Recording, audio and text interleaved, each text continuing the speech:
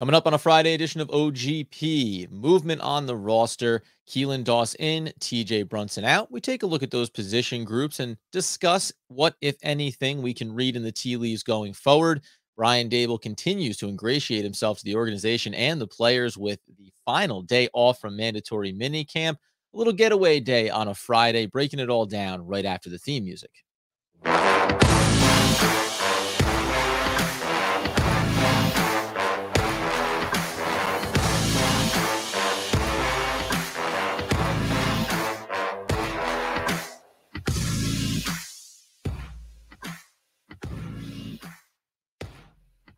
Oh, yes, it's OGP, the One Giant podcast, where, as always, I am your host, Adam Armbrecht, also breaking down the Brooklyn Nets over on the Locked On Nets podcast with my boy, Doug Norrie. No, Andy Makowitz here. He seemed to get the wrong impression around Brian Daboll giving the team off and holding a picnic at the facility. Maybe we'll get some social media posts, him laying down there, blankets spread out, a little bit of brie. I'm sure some wine coolers going there for Mr. Makowitz. So he took the day off. Listen, it is what it is. The season generational ticket holder will be back with us on Monday. But in the meantime, we didn't know, or at least I didn't know, I should say, what to anticipate once we heard that Brian Daboll was going to go ahead and give the back end of this mandatory minicamp a little bit of little bit of reprieve here for the players hold a facility wide organizational picnic there at the team facility is a great way, right? We talk about the positivities of turning over uh, not just some of the roster, but also obviously at the head coach and at the GM level. Why not build up a little bit of that goodwill amongst the team and continue? It's a, everything is positive right now. So you had some good workouts, you got in some great reps, you saw some good things from some players, and you go ahead and you let everybody take a little bit of a relaxation here at the end of the week, knowing that it'll be uh, July 19th will be when the rookies will get back into the facility here now. And then seven days later, we'll get all the veterans and the rest of the team in there for training camp. So there's the gap, right? A month off here. And as Andy mentioned in the last episode, it'll be interesting to see what we hear. There'll still be news and notes. Um, what happens behind the scenes? What do we hear about players that are working out, getting together, trying to continue to work on their craft? So we'll keep an eye on that, obviously. But when wondering, then, with no more minicamp reps to talk about, what do we do next? Certainly, we get a little bit of news here around the roster.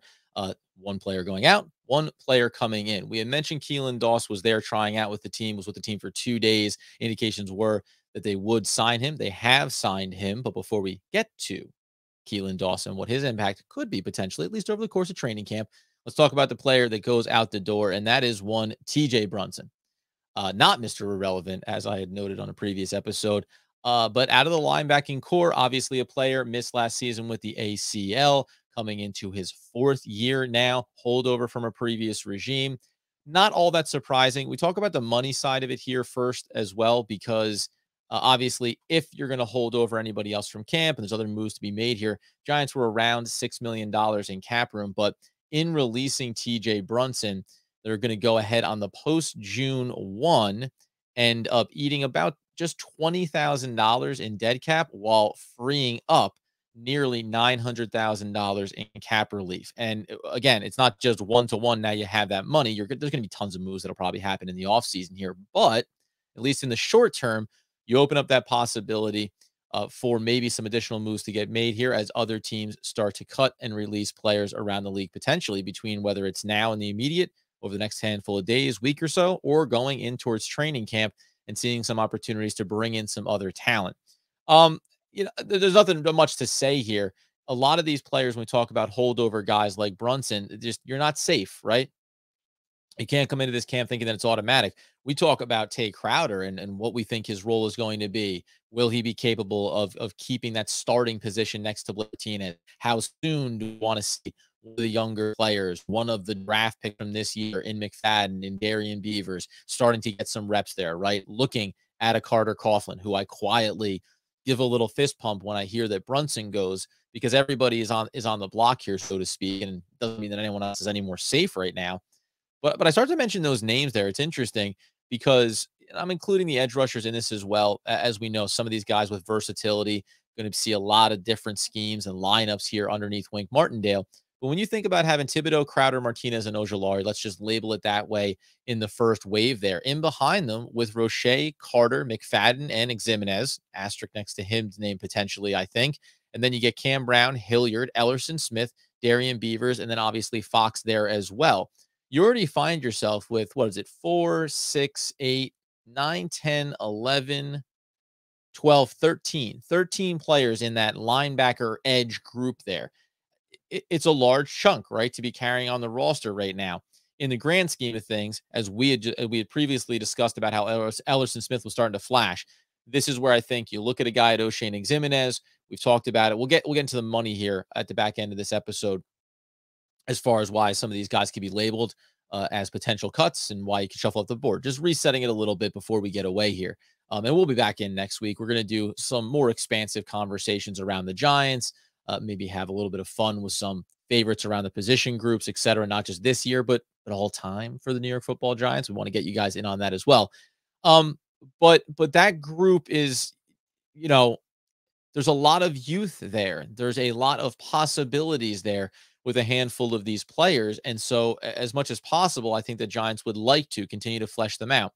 But again, as we've said several times over the course of this offseason, availability, right? Consistency. That's what this new regime has talked so much about. And there's still a lot of guys wearing red jerseys, but TJ Brunson off the ACL, going to be hard to see his path forward. And in fact, we will not see his path forward. So he gets released. That's the deal there. The other side of it then is the Keelan Doss signing. Now, I don't know the we don't have the financial details just yet on it, but we'll see what that looks like. If there's guaranteed dollars, we talked about that with some of the rookies and the undrafted uh, free agent class this year. But I do find him interesting. Um, now, again, let's not overstate it. Keelan Doss has 11 career receptions, right? Uh, came out of UC Davis. He started with a practice squad for the Jaguars, then caught on with the Raiders after they released Antonio Brown. And he got in a handful of games there, caught 11 to 14 passes. That's his career at the NFL level at this point. But if we want to take a look again inside the position group, and this is where we'll again, we're always going to talk a little bit about the money there. And we said it before. What do we have? Eh, eh, what are the expectations for a guy like um eh, like Darius Slayton, excuse me? Because right now, even though we have Kenny Golladay in a red jersey, and quick aside here, we'll get back to Keelan Dawson in a minute. We we've been we've been you know heavy handed on uh, Kenny Golladay. We believe that he can have a role. I don't know if we talked about this on or off podcast, but I actually did the math here. I know we did it with with Bellinger around what the expectations would be, but I think I did this with pessimistic Mike. When you look at Kenny Golladay and you think about just the offense overall, 500 plus passing attempts you anticipate this year for Daniel Jones, and how's it going to spread around, assuming health. You know, Kadarius Toney is going to be deserving of 125 to 150 targets. You know, you're going to be using Saquon with 90 receptions his rookie year out of the backfield. When we came down to it, we said, you know, if you end up in something like the five to seven range per game in terms of targets for Kenny Golladay, even at five, right? You can end up thinking about him being someone who's catching 50 to 60 balls, right? You know, giving you consistency, giving you reliability, still being able to use that big frame, obviously in the red zone a bit. So it was fascinating. And I, and I only say that because watching some of the footage of him in individual workouts, like he looks, you know, he looks good. Everybody looks good in t-shirt and shorts. Um, but but I, I hope the best for him. And I, I, think we said this before about several players. We said it about Tae Crowder, said it about Julian Love. Like we're not a podcast that doesn't want these players to succeed, whether they're making eh, whether they represent 20% of the entire cap or they represent half a percent, right? Whether they're in their final year of, of the rookie contract or in the second year of a multi-year big dollar deal. We want everyone to be successful. It's just you have to temper expectations around this at least to a certain extent. That being the case, though, when we talk about this wide receiver group now, I think, you know, we still have the question mark around Sterling Shepard. When, if healthy, will he be able to get back on the field officially for the Giants when you look towards even the regular season? Training camp could tell us a lot there as well. But Kadarius Toney, Kenny Golladay, Sterling Shepard, Wan'Dale Robinson. I mean, those four guys, and really just the three, taking Shepard at least partially off the table, are the real guarantees you have here. And then you bring in everybody else, and we're interested to see how things play out. The one thing that I will say when you hear Keelan Doss get signed, guy that comes in, that tries out, team likes him. They want to give him a look, six foot three, 215, right? And we'll get into a little bit of details around his game, which I think are noteworthy. But the first thing that it tells me is, you know, they retain CJ Board. He has special teams value. But when you think about guys like Collin Johnson, like David Sills, uh, like Bachman, you have to now add into, along with Richie James, who looked pretty good over the course of this summer so far, and Robert Foster, now Keelan Doss. Like you're at, you're hearing new names now, right? So when we're discussing back end of the roster guys and filling out a position group, you do have to have some level of awareness of right. Look inside that group and say, well, we got 15 guys, you know, 16 players at this position. They're not all coming with us, and there's going to be this cutoff. TJ Brunson, injury, lack of production, back end draft guy, fine. These other players, practice squad, right? Fringe roster players, somebody's going to go here. The interesting thing would be is if the signing of Keelan Doss and how things look in training camp next month could potentially impact how they look at a Darius Slayton, the 2.5 million that he has on the books that they can get out from underneath, or anybody else in here as well. Because the one thing I don't know if we if we made a note of this last time, but when we look through this roster real quick here, it's noteworthy that on the post June 1 cut, which is where we'd be sitting here now, I wanted to just get a quick look. You know, Sterling Shepard's not going to be a candidate for this uh, with the way the, the dead money works uh, on him. And I think you want to give him every chance to have success. But I was really looking more down the list here a little bit uh, at the wide receiver group and just curiously, you know, Richie James doesn't have a lot on the books there uh, for himself, 100 in dead cap, almost a million you could free up. Not saying that they'd be considering that, but he is no more guaranteed than anything else. But I wanted to get to CJ Board, who has zero dead cap hit and $990,000 in cap relief.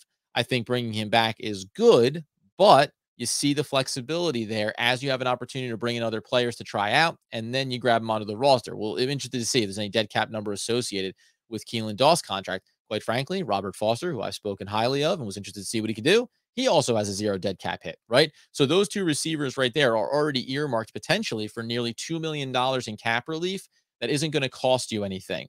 And the point being is that you know, Collin Johnson, another guy at 900,000 with no dead cap number. So this wide receiver group and these back end guys, these special team contributors, it's all up in the air right now.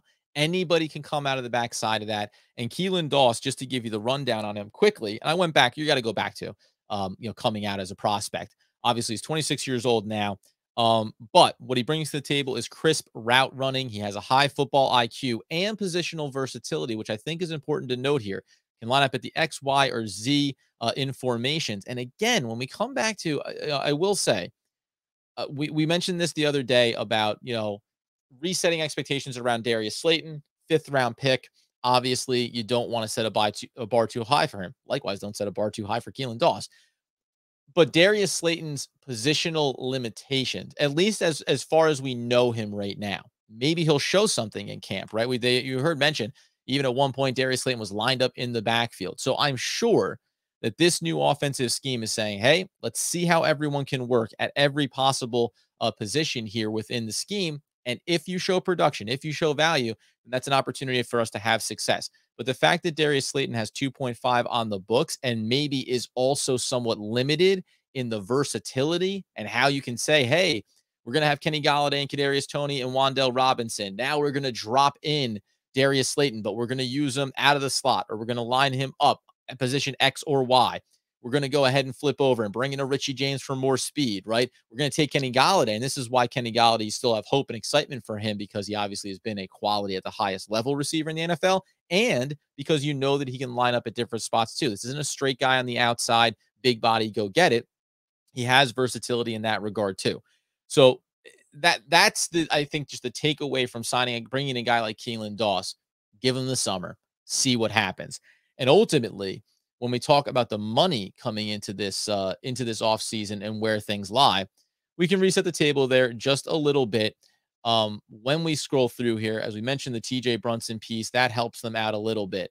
Uh, while Tae Crowder, I think, is far closer to being a contributor and a part of this roster than not. He has a very low dead cap hit number, too. I, I don't anticipate that. More just guys that jump out off the page uh, at you when you work your way through. Ben Bredeson jumps out off the page because he has 900,000, right? Kennedy, who was brought in this offseason to compete, also has a zero dead cap hit and 900,000, right? Gary Bright, someone haven't been able to touch on too much so far this offseason, 45 40,000 in dead cap, almost 900,000 in cap relief. This is the way, just as we're thinking about working our way through the summer, we're going to see other cuts come. We're going to see other uh, players get brought in as cuts happen around the league. But there's a number of guys that you can roll through here when you think about that $6 million cap room number that the Giants have right now. You can move that up 7, 8, 9, 10, 12. Like you can get up that mark pretty quickly. Now, obviously, you anticipate maybe bringing in some players as well along the way, but there's just a laundry list of guys here um, Roche is not going to be one of those players. Hilliard could be one of those players with 825 coming off the books. Jaquette was brought in just this offseason. David Sills, likewise, over 800,000. Jarren Williams, don't know where he stacks up in this hierarchy of the secondary. He's got a nice free and clear money relief as well. So th- there, there's a lot of things to think about. Um, just in terms of of how this roster can evolve at a very quick pace for the Giants this offseason. And Brunson out, Dawson uh, Dawson is not is not breaking news cycles, but it, it does bring to mind when we look at this roster, and we'll start to do a bit more of this as well. You know, 53 man roster. We know the usual suspects that are going to be on this list, but I can tell you right now that when you say names like Brightwell, CJ Board, Collin Johnson, Robert Foster, um, maybe uh, Marinik at the tight end position, Bachman, Sills, right? Uh, Antonio Williams. When you talk about guys like Revis inside of the offensive line, or Jamil Douglas, or Cunningham, right? These are all names, all, all names that are going to be on the conversation to be like, oh, and most of those guys offensively, I think you look at and go, yeah, that's that's all fine and well. The interesting thing defensively is when you say names like Nico Lalos or David Moa. Not that I'm talking about guys that you're overly excited about, but they've played NFL snaps. They can have a role as a backup on this team. They can be a rotational piece. Those guys are going to be in those discussions, though. You now have Holmes in there uh, at the defensive end position. Remember, Ryder, Ryder Anderson was brought in. You have the Ellises, Justin and Jabari. You have the rookie in DJ Davidson as well. Like something's going to happen there. Mentioned Hilliard before. And then when you get into the secondary, again, this is why we spend a little bit of time talking about Julian Love here, just because you've got McKinney and Love, and you've also got Cordale Flott, and you've got Adoree Jackson. You've got Rodarius Williams, you've got Thompson, you've got Black, you've got Holmes, you've got Belton, you've got Robinson, you've got Jaquette, you've got Evans, you've got Corker, you've got Williams. There's too many bodies in the secondary right now, right? That's going to have to thin out here a bit at some point. It'll be interesting to see how how they go about that. Oh, we'll get out of here on one thing with Yusuf Corker. I, I thought I don't I know we've talked about him and, and highlighted liking what he brings to the table and obviously having potential to be a contributor. Just as a reminder, coming out of college, played at the safety position, also went down and played at the nickel in in certain packages for the defense as well. He played in uh in punt return. He also played in coverage against kicks. He also was on the field goal special teams units for field goal blocks. Um, so there is a versatility to his game that automatically you can get excited about around making this roster. And I think for the most part, when we've talked about him, everyone seems to be excited about him making the 53 man roster. But if you're going to make that statement, and, let, and we're going to say that Julian Love and Xavier McKinney, uh, along with Adoree Jackson, Cordale Flott, and Darnay Holmes, Dane Belton, that's already six. Aaron Robinson, seven, right? So Yusuf Corker, eight eight members of the secondary right there, to say nothing of Rodarius Williams, Jaquette, right? Darren Evans, uh, or also Jarren Williams, right? Henry Black is in the mix there. H- how many are you going to carry in the secondary along the way? Some of the versatility certainly makes it possible to carry a few more bodies there, but then how do you thin out at the linebacking spot? And it's interesting to think about. We'll do a comparison early next week with Wink Martindale how many bodies has he carried previously down in Baltimore at the linebacking corps, at the defensive front, and then back there in the secondary? Because the more versatility you can identify, at least gives you the opportunity to say, yeah, and we mentioned this when Julian Love was being used as a linebacker, right? Hey, if the situation dictates, are we just as well off, whether it's run or pass, saying we have two deep safeties. We also have a safety with some speed and a little bit of strength in the box. And we have this flexibility on the outside with Ware Belton or Yusuf Corker or any of the deep secondary players along, obviously, behind Adoree Jackson, behind uh, Aaron Robinson, we think, right? You, you want to go by ESPN, you can have Cordale Flott playing on the outside right now. Um, I think the bigger question is can he line up immediately at the slot corner position day one here? And then that would create some depth if Darnay Holmes now becomes a more versatile weapon. We made mention of him going back a couple of weeks and saying, go back and look at his measurables and, and try to get back into the tape and see where he had some success. If he can continue to develop, he's he's big enough, strong enough, and and you think quick enough, especially in the hips, to be able to be inside outside, depending on the sub packages that you want to run. So that being the case, we're running a tight ship here on a Friday. We hope everybody has a good weekend coming up here. It is the summer. Like I said, we're going to get a little more expansive. Andy and I will lock down where we think the 53 man roster will go when we come back around for training camp. Who do we think is going to be the next wave of cuts? And then one thing um, that I will give you the tease on that we talked about, and I, I apologize because the allergies are, if you're watching on YouTube, are, are they're giving me they're giving me issues here. Um, the prove it, the prove it. So it was so exciting. I could barely even barely even keep my voice steady.